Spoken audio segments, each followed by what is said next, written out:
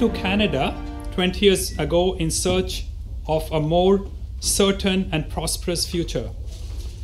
During the time when her country was undergoing a tumultuous transition away from a former socialistic regime. Given her lived experience, she has a unique perspective on current events and tendencies of the Western civilization. And she would like to share them with you today.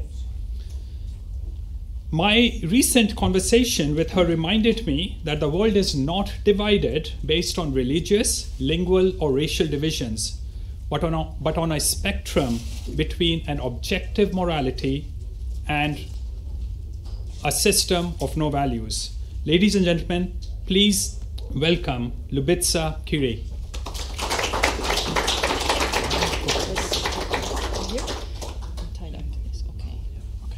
Okay. Well, thank you so much for uh, creating this platform uh, for people to express uh, their opinions and different perspectives of seeing the world because I think, and basically that's my speech is going to be touching on that, that this is becoming maybe less and less usual uh, for people to be coming together and expressing uh, themselves in a, in a free way.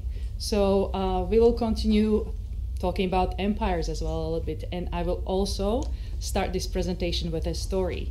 And given that, given the title of my presentation, you might expect that my story will be fuzzy, Disney-like story because my presentation is titled uh, Tinkerbell and the Spirit of the West. But um, this story will be grim, as stories from the Central or Eastern Europe usually are. This one perhaps even too grim for Grimm brothers. So let's get started. Once upon a time, on a Christmas day of 1901, a little girl was born in a beautiful city of medieval kings, beautiful castles, and hundred spires. That city was called Prague. She was blessed with gifts of kindness and courage, and naturally stuck to her moral principles, no matter how hard that would make her life be. So much so that when she was 17, this was the time that we now know as World War I. She was expelled from her school for taking part in an anti war demonstration. Prague was at the time part of Austro Hungarian Empire, although not much longer. She was not discouraged. In fact, her desire to shape a better world just grew. She went to study law at the pre prestigious Charles University, still in her hometown, Prague, which now was a capital of freshly minted country, Czechoslovakia, that emerged as a result of the Austro Hungarian Empire losing the war and being split apart by internal as well as external forces, which you know about. She became a social justice warrior, I have to make a comment, the old school type, and a strong advocate for female rights. And then another cloud of darkness enshrouded Europe then expansionistic aspirations of the neighboring Germans grew more and more insatiable, eyeing their eastern borders and making demands that it becomes their territory.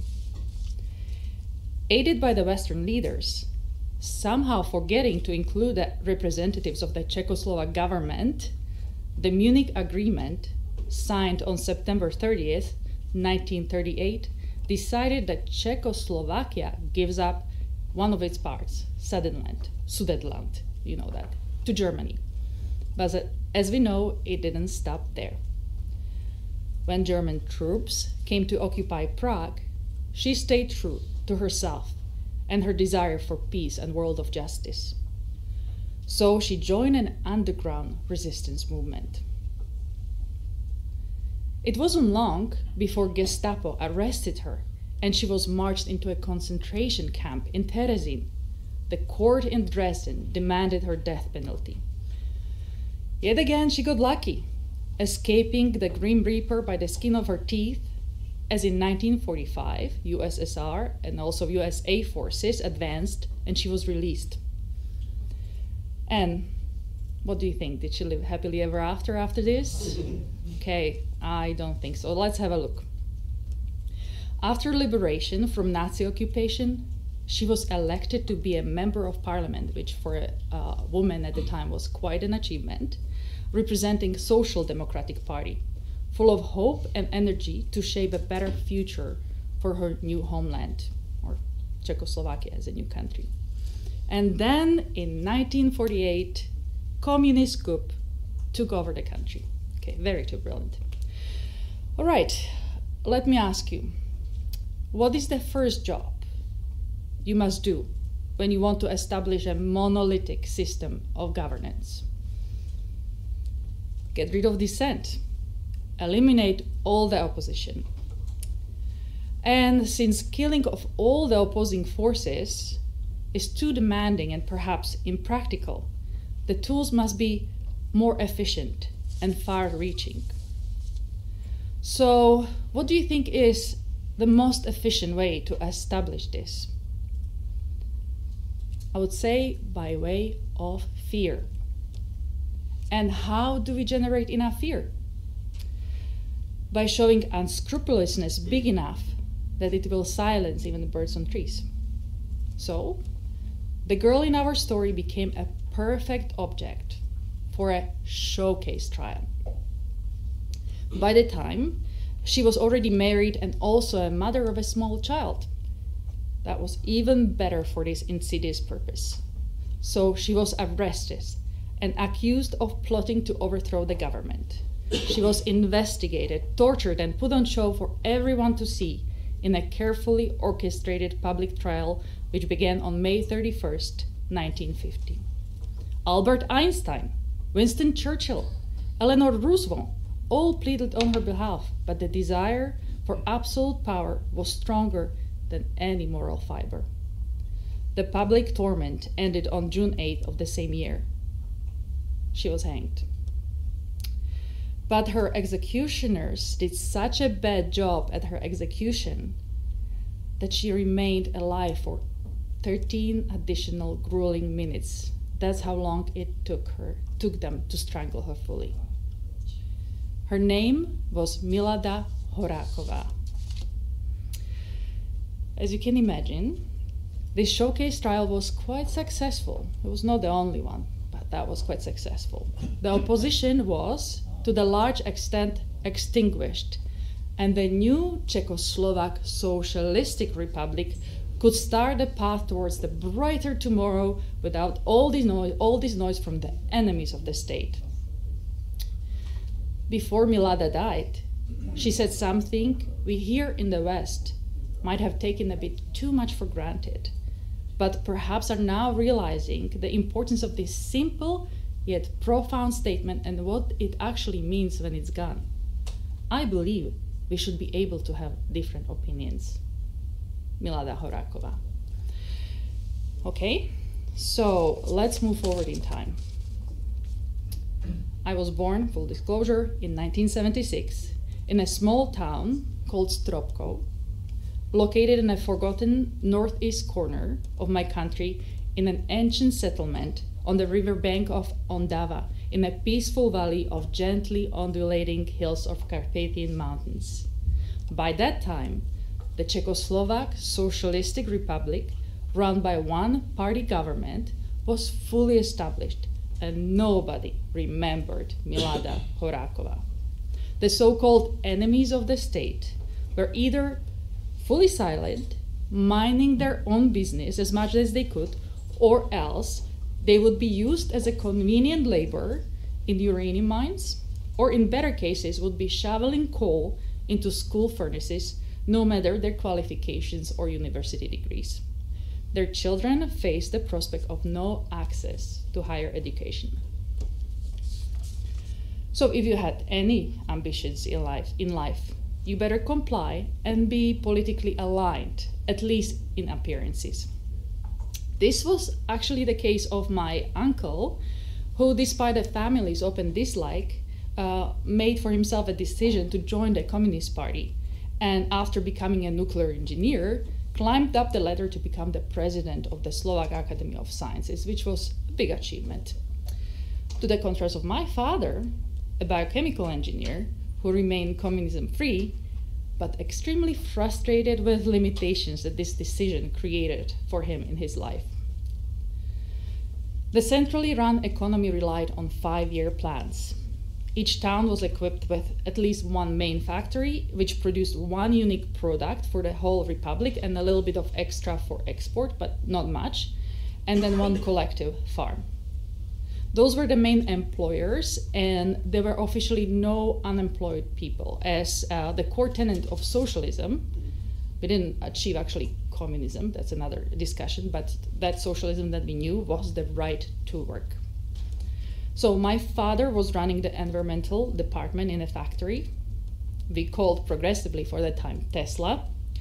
Their only job was to produce phones for CSSR, which is Czechoslovak Socialistic Republic, and also for USSR market. My mother was a manager of one of those co-op businesses in, uh, on the farm. They were making instant tea. Again, uh, they had no need to worry about demand as that was guaranteed. So I, I, don't think it was that stressful for them. And how was life for me? Actually, not bad.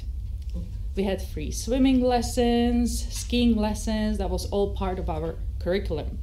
The education academically was strong, although the teachers didn't care about our emotional well being, we didn't care about theirs either. Addressing uh, them as comrade was so commonplace, it sort of lost meaning. We had free camps, um, like fun camps, every summer to look forward to that took me to the eastern part of Germany, Hungary, Poland, Czech part of our uh, republic, Slovakia, all over the place. Our small, previously backward, but still kind of backward town, was now equipped with a skating rink, tennis courts, Olympic sized pool, soccer stadium, indoor sport hall, theater, and community center. And this might surprise you actually, but we're also allowed to keep on practicing, in our case, mostly Catholic religion. Most of the town was still making a regular trip to a Sunday Mass. Only those that were working directly for the government, teacher, police, teachers, policemen, and of course bureaucrats were outrightly not allowed to be publicly religious. The rest of us, we were as Catholic as can be. We just knew not to talk about it uh, while at school or in an obvious public setting. And somehow uh, you actually learned the boundaries pretty fast, almost intuitively. You knew sort of knew which neighbor would prefer to be greeted with honor to work and which one, uh, praise be Jesus Christ. So um, my childhood was kind of stuck between two ideologies that claimed to have a patent on absolute truth while standing exactly on the opposite side of the spectrum. One claiming that the base of everything is materia, that was communism, and the other God personified, each trying to compete for my mind. Fortunately, in my case, it didn't go well for either. In fact, being raised in between the tectonic plates of these two contrastful yet somehow exactly similar ideologies fostered an emergence of, I would say, critical thinking, but that actually became apparent to me only later in life. While in childhood, the Catholic Mass or communist assemblies represented nothing else but lots of standing around, legs hurting, listening to some boring blah blah blah from a middle aged man. Um, and I coped. I coped by escaping into my dreamland for example, thinking about the stories of my ancestors uh, who must have been in the same church since it was built in the 14th century, or observing, we have this picture there, there was this weirdly twisted foot of Archangel Michael on the Baroque painting about me, or wondering, actually, that's really true, why communist cadres always end up with the same round belly as if it was a mandatory requirement for climbing up the hierarchy of communism and if the overbleached, crap looking 80s hair of my teacher is as feathery and soft to touch as it looks. If my mother or my uh, of one of my teachers, and sometimes that happened, asked me a control question, I, if I remembered the main premise of the sermon or the communist speech, I couldn't tell them. I couldn't tell them if my life depended on it. It all went right over my head. Okay, so why am I standing here in this room full of libertarians presenting in a seminar that discusses capitalism when what I share with you states that my childhood during socialism was actually quite prosperous and quite nice. Okay, let's see. Because, in my view, the biggest danger of the monolithic systems, such as what I have experienced, is communist run socialism, but other of similar nature as well, or is also like answers to big problems in that monolithic way, is not in the way they operate, but in a way they inevitably fail. Actually, after a rough start, and once the dirty but necessary job of silencing dissent is done, there is a sweet spot where these centrally run golem like monsters appear to be quite functional. This is the era I have perhaps experienced, or more precisely, the tail end of this.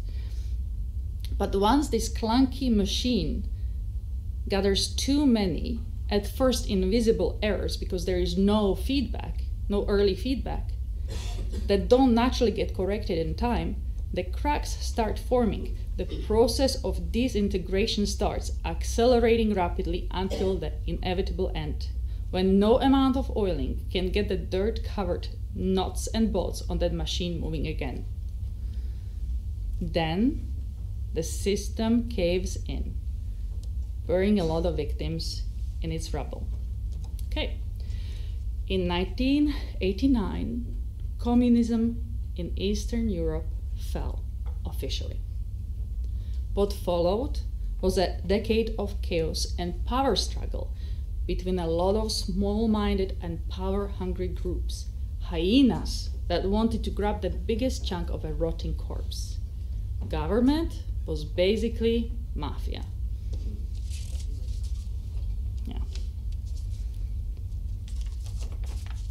The process of privatization of previously state run factories left most of the industry destroyed, creating the so called hunger valleys, towns and villages where unemployment rate would reach something like 80%.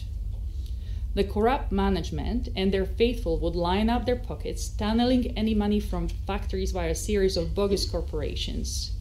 Many young men lost their life during that time in exchange for a pocket of money they, so called white horses, would agree to have a corporation created in their name, and once they were no longer useful, they were simply shot and discarded. Small business, running small, small business or starting a small business was actually quite dangerous too, as those who dared to open a grocery shop or an ice cream shop or anything like that would right away have someone knock on their door demanding protection money if they did not comply, their car would simply explode. It was commonplace. So commonplace that I was woken up one night by such explosion in front of our residence house at my university. I looked out of the window and went straight back to bed like no big deal. Although the unemployment was generally quite high, in my case, actually, I got lucky. My first job, straight from university, was an offer from Slovak Radio, which is an equivalent for CBC here. I don't know your feelings about that. When I started, when I started as a correspondent to the well-liked program, there was a program called Afternoon with the Radio. Now, I, actually, I was selected. I'm tooting my own horn, but I was one of the 800 applicants that got the job. So, pretty good. But being a typical ungrateful youth, my attitude was not very positive about this opportunity. In fact, working for an institution that was associated with middle aged people, really, and the region structure that carried some of the character characteristics of the fallen communism, I felt restless and I wanted to experience more. Late 90s and early 2000s was also the time when various Western backed NGOs popped up like mushrooms after rain around Bratislava, now the capital of Slovakia, because Czechoslovakia played a part too, an independent country. They, those NGOs, really carried a certain level of poshness to us. They had these fancy offices in the most expensive historic core of the capital. They carried a certain prim- promise of the future. And they were well funded, so naturally a desirable place to work. And they were in preference of unhardened young minds they could shape. They funded a lot of programs of which purpose was to shape those young minds, just released from under the influence of the previous masters, to be favorable towards the West. One of those NGOs, more dominant ones, and you will know about that one, was of course Open Society Foundation, backed by none other than George Soros. The promise of the West was very alluring to many of us. I was not an exception. Slovakia felt so small, it made me feel kind of claustrophobic. I wanted it out, and I wanted westward. So, being on a job, being out and about, searching for news stories for the program, for that afternoon with the radio, I happened to come across a small yellow leaflet pinned sideways on the board of the local university. Open Society Foundation, that was the announcement on it, in collaboration with Headmasters Conference of the Public Schools in the UK, was looking for 30 people from 10 former Eastern Bloc countries to spend one year teaching in a public, which is basically private school in England. Interested parties were supposed to submit a motivational essay. The deadline was tomorrow. I have spent the night writing that essay and dropped it off to their office personally just to make sure they got it. After a series of interviews, I was I was headed to Cambridge for an initial orientation, and after that, in my case, to King's School Bruton in Somerset on a one-year contract. It, it was a wonderful experience, truly. The glitter of the West didn't disappoint at the time. I was in. After my one year expired, I I went further and chose Canada as my next immigration destination. Okay, let's away. Let's move away from me right now, but uh, let's look at the reason what what happened there. Although my entry to the West was perhaps more fanciful than lots of other people, I was not a rare occurrence. Hordes of young people were leaving their hometowns, hordes and hordes, lots, tons of people, their families, and reaching towards West as their destination of hope prosperity, and better future. So, what exactly has created this idea that the West is this promised land many people from the rest are in search of?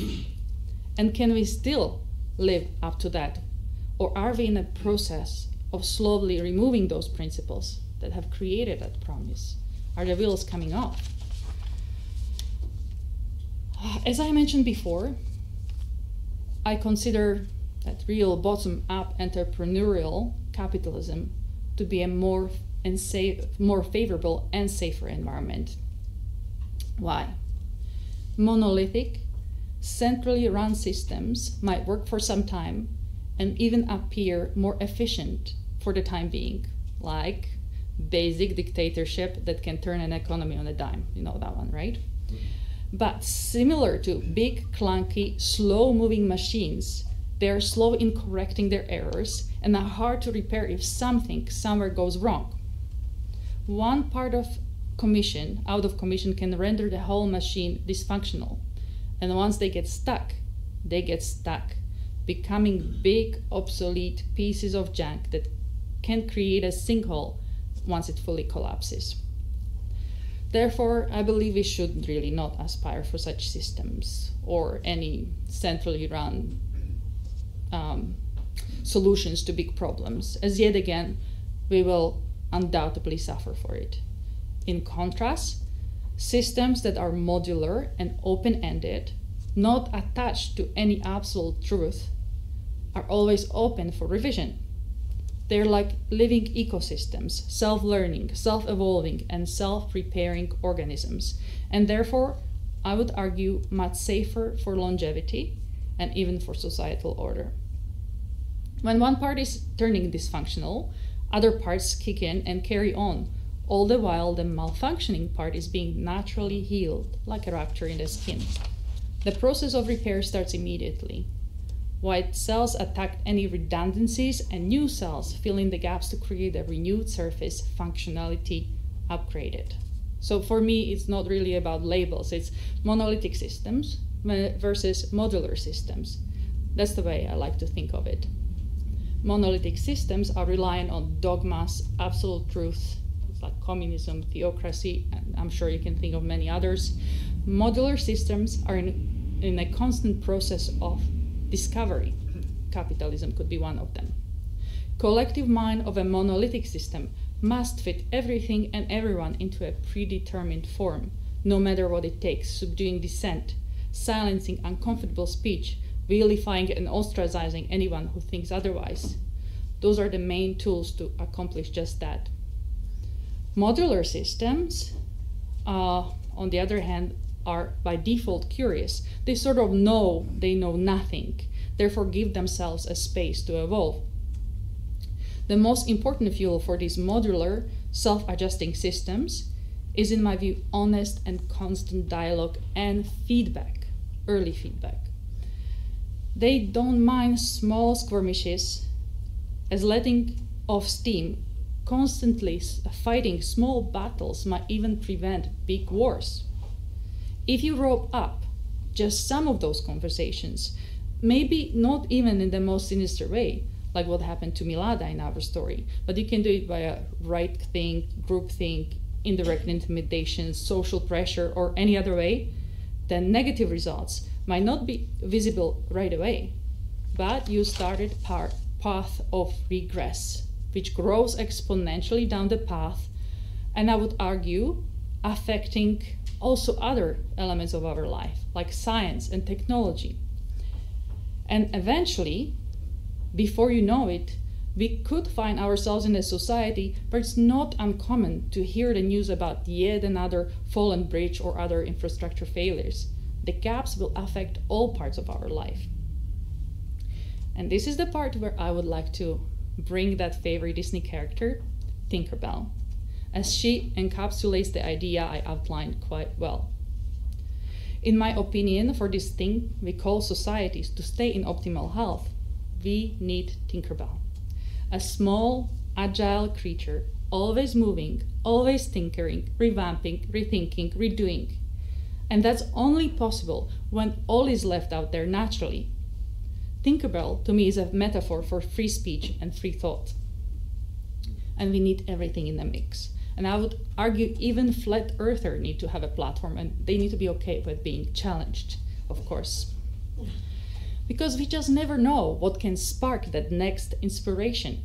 And inspiration leads to innovation, and innovation leads to progress, and progress leads to prosperity.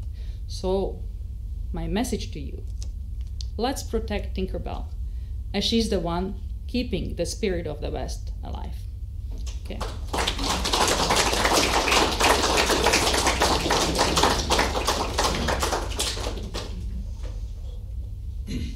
questions?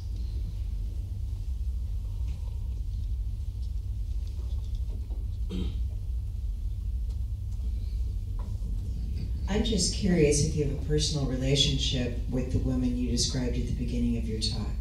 Uh, Milada Horakova? Mm-hmm. Oh, she was well dead before I was born. no, but I mean, in, in your family, were there relationships? I mean, why?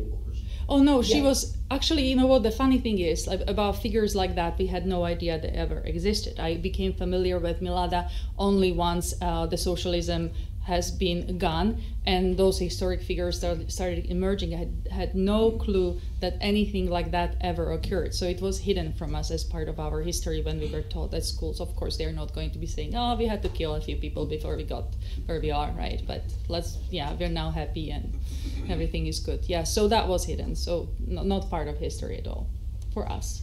Thank you for your speech. And from your unique experience and perspective can you give us any ideas of warning signs that you see in our civilization that we should pay very important attention to? Not the obvious ones. What's going to sneak up on us? Well, you know what? Um, okay, I'm going to go for the obvious one because I think that's a really uh, that's almost like a culmination of things that were kind of biting away at things. You know, like people maybe feel uh, less and less uh, confident sharing their full opinions maybe because of the political correctness uh, maybe like that's my advantage of being eastern european. I say that's the way we are. You have to accept us because diversity inclusion we just speak our mind and that's it. But i find that like uh, canadians do be, uh, maybe because of the being polite to other people they do self um, censor themselves quite a bit. And i think that kind of creates these gaps of conversations these gaps in that early feedback which kind of grows. And uh, I don't know, like the the response to that big problem that we had with COVID 19 for me was uh, very problematic. And in fact, lots of Eastern Europeans probably felt the same way. And not probably, I know that. I did meet with a group of uh, Slovakians. Uh, I was renewing my Slovakian passport in November, and not a single one of us were like, "What the heck is going on? This is like what our grandmas experienced. This is not normal. This is not usual that there would be this mass." Um, direction towards one opinion and everything else outside of that is wrong. We were like, this is not good. What's going to happen?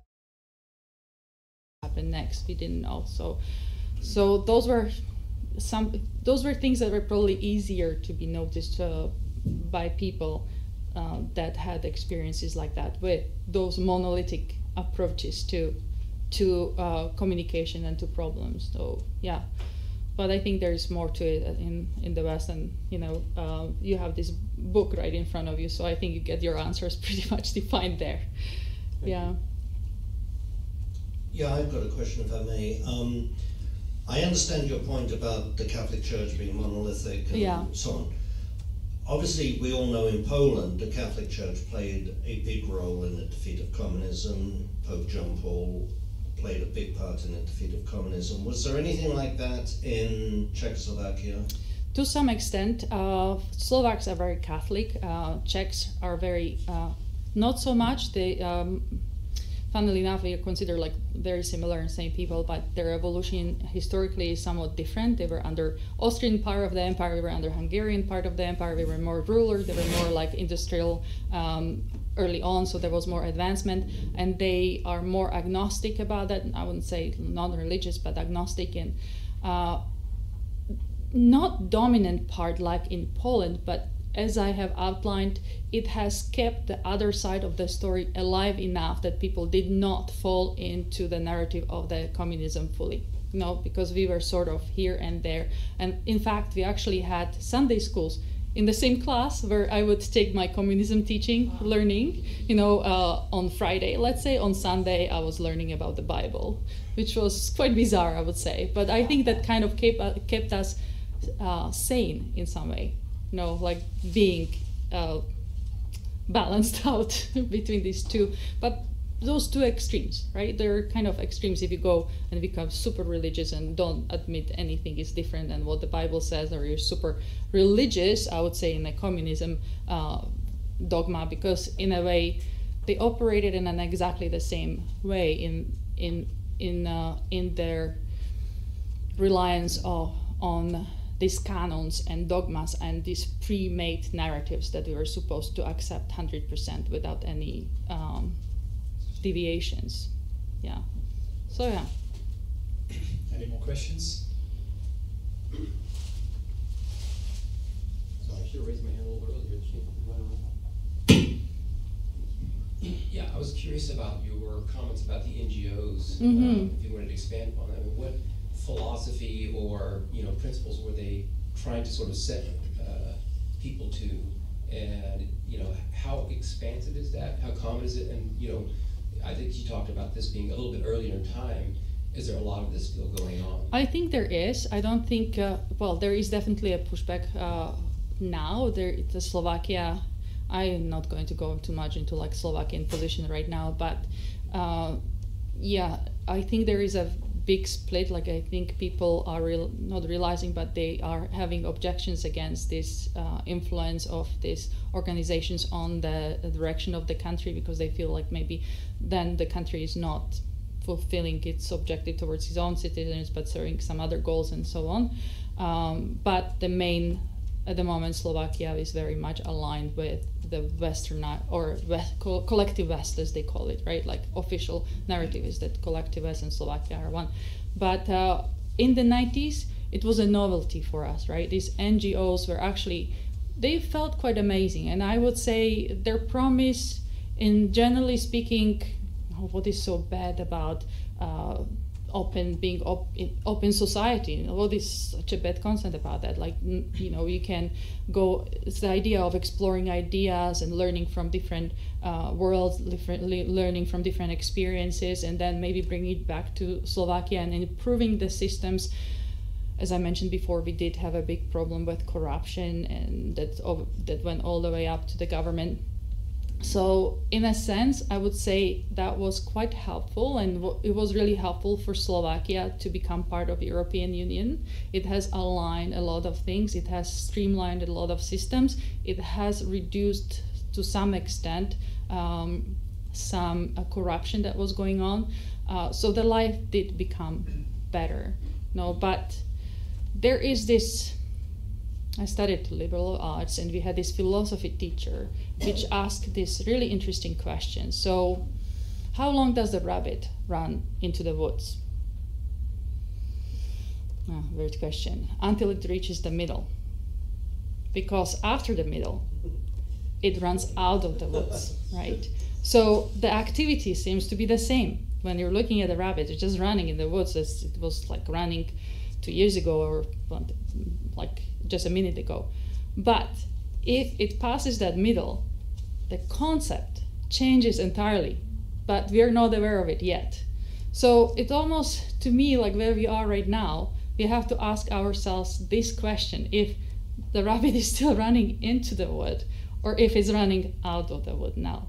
The activity might appear the same, but has the concept that we are experiencing right now has this has it changed or is it the same thing? So I think I don't, I don't think I have the answers, but this is the question I'm asking too. I'm seeing some signs that that speech, when it's roped up, again, as I said, when some conversations are missing, are not out there, then there are certain things that cannot happen because there is certain inspiration that didn't happen, and those gaps just grow.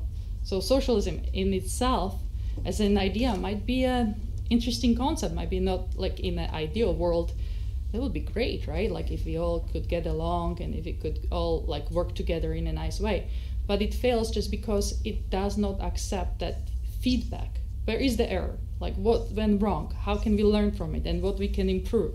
No, because it does rope up those conversations and it relies on those predetermined dogmas.